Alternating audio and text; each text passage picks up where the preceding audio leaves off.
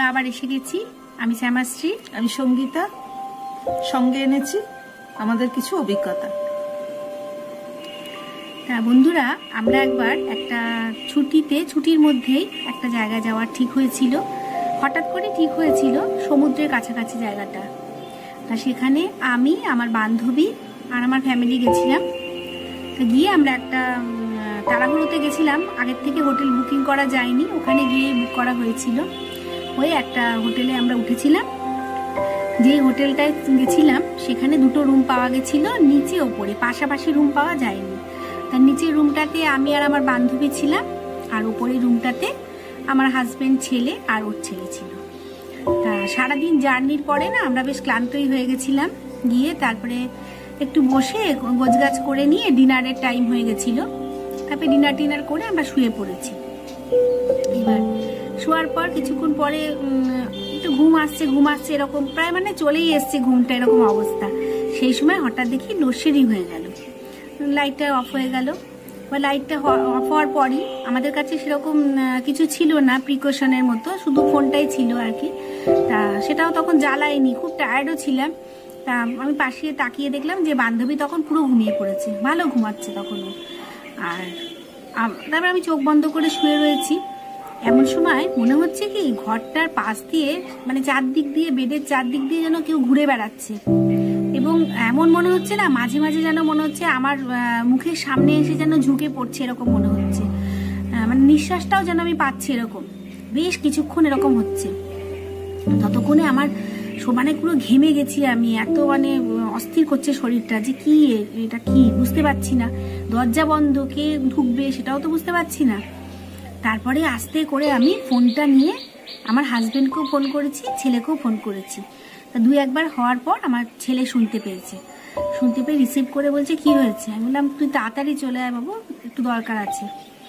তারপরে আমার ছেলের সঙ্গে সঙ্গে ফোনটা পেয়ে এসছে। মানে কীভাবে যে আমি উঠে গিয়ে দরজাটা খুলেছিলাম আমার এখন মনে নেই। কোনো রকম উঠে গিয়ে দরজাটা খুলেছি। খোলার পর আমি বললাম যে, বলছে তোমাদের লোডশেডিং হয়েছে মনে হচ্ছে? আমি বলছি হ্যাঁ।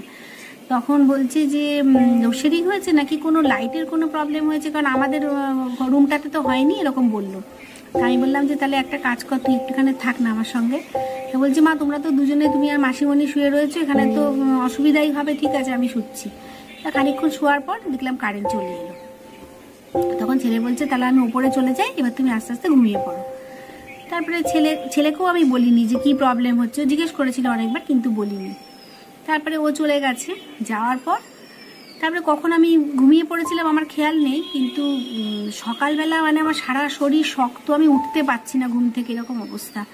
তারপরে তো সবাই ডাকছে, বান্ধবী ডাকছে, তারপরে ওরা ওপর থেকে এসছে, আমার হাজব্যান্ডরা এসে ডাকছে, কিছুতেই উঠতে পারছি না, এমন শরীর খারাপ, মনে যেন মাথা তুলতেই পারছি না আমি।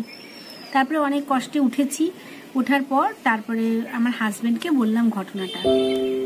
তারপরে শোনার পর ওখানকার যে স্টাফটা ছিল হোটেলের, তাদের দু একজনকে আমি বললি এই কথাটা। বলার পর ওরা কিন্তু কোনো উত্তর দিল না। যে শোনার পর যে কোনো অ্যান্সার দেবে বা এখানে এরকম কিছু নেই, সেটাও কিন্তু ওরা কিছু বলেনি। ওরা চলে গেল। তা সন্ধেবেলা তখন আমার হাজব্যান্ড চেষ্টা করছিল যে অন্য কোথাও যাওয়ার জন্য, কিন্তু তৎক্ষণাৎ পাইনি আমরা। তারপরে সন্ধেবেলা না একটা ধুনো মতো কি নিয়ে এলো। নিয়ে এসে সারা ঘরে দিল, দিয়ে বলল, দেখবেন, এরপর থেকে আর ভয় পাবেন না। কিছু হবে না এরপর থেকে আর। তা সত্যি রাত্রিবেলাটা থেকে হচ্ছে সেরকম কিছু প্রবলেম হয়নি। তা পরের দিন আমরা অন্য হোটেলে চলে গেছিলাম, ওখানে আর থাকিনি। তবে ওরা কিন্তু কেউ কিচ্ছু বলেনি, কিসের প্রবলেম কি প্রবলেম এগুলোর আমরা কিছু জানতে পারিনি। এই ছিল আমার একটা ঘটনা, আমার জীবনে ঘটে যাওয়া। তোমার এই ঘটনাটা শুনে আমারও একটা হোটেলের ঘটনার কথা মনে পড়ছে। আমাদের বিয়ের পর আমরা পাহাড়ে গিয়েছিলাম দুজনে। তো ওরকম গিয়ে পৌঁছেছি তখন পাঁচটা বাজে। আমি আর আমার হাজব্যান্ড দুজনে গেছি। তো হোটেলটা কাপল হোটেল ছিল আর কি। ওখানে কাপলরাই সাধারণত ওটা বুক করতো। তো আমরা গেছি, গিয়ে আমাদের রুম দিয়েছে, আমরা রুমে গেছি। দেখছি ভীষণ সুন্দর মানে রুমটা এত সুন্দর। আর চারিদিকে কাঁচের জানলা, খুব ভালো লাগছিল। তো জানলার ধারে গিয়ে দেখছি একটা জানলা খুলছে না। তো বাকি জানলাগুলো সবই খুলছে, সবই দেখা যাচ্ছে। আমি দেখো, এই জানলাটা খুলছে না। তো আমার হাজবেন্ড বলছে, ঠিক আছে, একটা জানলা খুলছে না তো কি হয়েছে? এবার হয় না একটা অস্বস্তি, কেন খুলবে না? আমি না না, তুমি একটু নিচে যাবে, তো একটু কথা বলো গিয়ে জানলাটা যেন একটু খোলার ব্যবস্থা করে দেয়। বলছে, ঠিক আছে, আমি যাব। তুমি গোছাতে শুরু করো, দরজাটা বন্ধ করে দাও। তো আমি দরজাটা বন্ধ করে দিয়ে গোছানো শুরু করেছি জাস্ট কয়েক, বোধহয় দু এক মিনিটও হয়নি। ও গেছে আর কি। আর আমি দরজাটা বন্ধ করেছি, দরজায় নক হয়েছে। তো আমি দরজাটা খুলেছি, দেখছি খুব লম্বা একজন এসছে। তো বলছে যে, আমি বলছি কি জানলাটা ঠিক করবেন? তো কোনো উত্তর দিল না, আমি দরজাটা খুলে দাঁড়ালাম, সে ঢুকে এলো। মানে খুব লম্বা একজন, আর মুখ একদম বন্ধ। একটা কথা বলছে না, টুপি পরে আছে, মুখটা দেখাও যাচ্ছে না ভালোভাবে। তখন তো মানে পাঁচটা, সাড়ে পাঁচটা তো বাজে, সেই সময়টা একটু অন্ধকার অন্ধকার মানে ঘরের মধ্যেটা অন্ধকার, বাইরেটা হয়তো আলো আছে, কিন্তু ঘরের মধ্যেটা তখন আমি আলো জ্বালিনি ঘরে। তো একটু অন্ধকার, অন্ধকারই লাগছে, মুখটা পরিষ্কার দেখাও যাচ্ছে না। ভদ্রলোক জানলাটা খুলতে গেলেন আর আমি জামা কাপড়টা গোছাচ্ছি।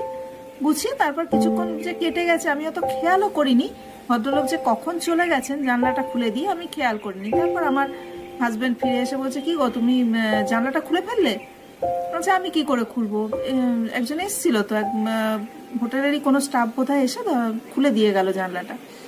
বলছে স্টাফ কি করে আসবে? আমি তো খবর দিয়ে এলাম। এখনও তো আসবে। বলল যে একটু দেরি হবে। এখন আপাতত কেউ ফ্রি নেই। একটু পরে গিয়ে খুলে দিচ্ছি। আলু তুমি বললেই হলো, তুমি যাওয়ার দু এক মিনিটের মধ্যে, দু এক মিনিটও বোধহয় কাটেনি। তার মধ্যেই তো একজন খুব লম্বা মতো একজন স্টাফ এসে খুলে দিয়ে গেল। কিন্তু ভদ্রলোক যে কোথায়, কখন গেলেন, আমি সেটাই দেখতে পেলাম না। আমি এদিকে গোছাচ্ছি, উনি তো মুহূর্তে মনে হয় নিঃশব্দে কাজটা করে দিয়েই চলে গেলেন। বলছে, তাই নাকি? তো যাই হোক, তারপর মানে আমরা কথা বলছি, বলতে বলতে একজন স্টাফ এসে হাজির, যে, ম্যাডাম, কি হয়েছে? কোন জানলাটা খুলছে না? আছি না না, জানলা তো খুলে দিয়ে গেলেন আপনাদেরও কেউ এসে খুলে দিয়ে গেছেন। তখন হচ্ছে আমাদের কেউ না তো? কীরকম দেখতে? আছে খুব লম্বা মতো, মুখটা আমি বুঝতে পারিনি কেমন, টুপি পরা ছিল। বলছে, ওহো। বলে ওর নিচে চলে গেল চলে গেল। আমার তখন না কীরকম একটা লাগছে আর কি, যে কি হলো? আর যে জানলাটা যিনি খুলতে এসেছিলেন, এত তার হাঁটা চলাও এত নিঃশব্দ, আর আমি খেয়াল করলাম কি উনি যখন ঘরে ঢুকলেন না, আমার গাটা যেন পুরো ঠান্ডা হয়ে গেল একদম মানে পুরো শীতল একটা, যেন কিছু আমাকে যেন ঘিরে ফেলল একটা এরকম মনে হলো। তারপর এখন আবার নর্মাল এখন আর অত, এবার উনি কখন গেছেন আমি অতটা খেয়ালও করিনি। তো তারপরে তো সেদিন রাত্রিবেলা তো কীরকম যে একটা আমার হচ্ছে মানে ওই সময়টাতে যে আমার হাজব্যান্ড এসছে, এসে যে অত কথা বলছে বলার পর আমি যে শোনো, আমার না ভীষণ শরীরটা ভারী লাগছে, আমার ঘুম পাচ্ছে, আমি একটু ঘুমোবো। বলছে, সে কি গো, এই তো গাড়িতে ঘুমোতে ঘুমোতে এলে। আমি না, আমি তাকাতে পারছি না, আমার শরীরটা মনে হচ্ছে ভেঙে পড়ছে একদম। তো আমি শুয়ে পড়লাম এবার তখন রাত্রি প্রায় দশটা, সাড়ে দশটা হবে। আমার হাজব্যান্ড খুব উদ্বিগ্ন মুখে আমার দিকে, আমি যখন চোখটা তাকালাম, দেখছি খুব উদ্বেগ নিয়ে আমার দিকে তাকিয়ে আছে। বলছে, কি হলো? শরীর ঠিক আছে? আমি বলছি হ্যাঁ। বলছে, তুমি টানা পাঁচ, সাড়ে পাঁচ ঘণ্টা ঘুমিয়েছো, এখন সাড়ে দশটা বাজে। এতক্ষণ তুমি নিঃসারে ঘুমিয়েছো। আমি তো ভয় পেয়ে গিয়েছিলাম, ভাবছিলাম ডাক্তার ডাকবো বলছি সে কি? বলছে হ্যাঁ। আচ্ছা আমি এখনও ঘুমোবো, আমার মনে হচ্ছে আবার ঘুমোই। বলছে, না, আগে একটু খেয়ে নাও, তারপর। তো খেতে আমি সেরকম ভাবে কিছু পারলাম না। খুব সামান্য কিছু খেয়ে মনে হচ্ছে আমি খাবার টেবিলেই শুয়ে পড়ি আবার। যাই হোক, সেই রাতটাও নাকি মানে একদম নিঃসারে আমি ঘুমিয়েছি। পরের দিন সকালবেলাতে শরীরটা বেশ একদম ঝরঝরে হয়ে গেল।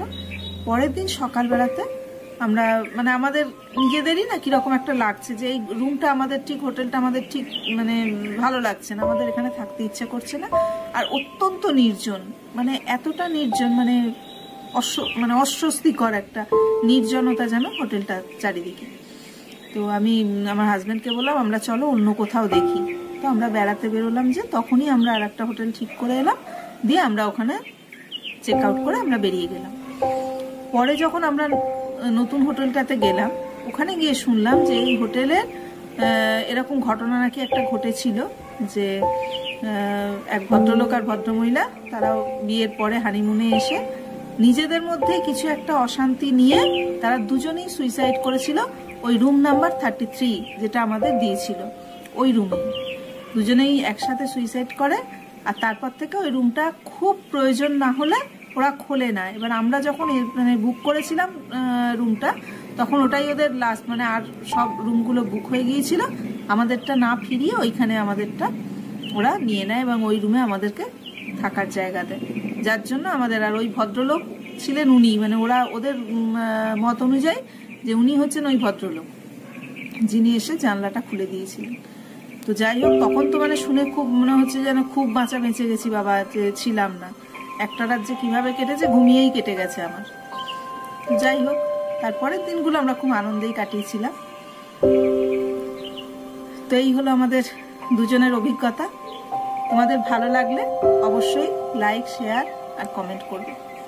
আর যাদের সাবস্ক্রাইব করা নেই, তারা অবশ্যই সাবস্ক্রাইব করবে। সকলে ভালো থেকো।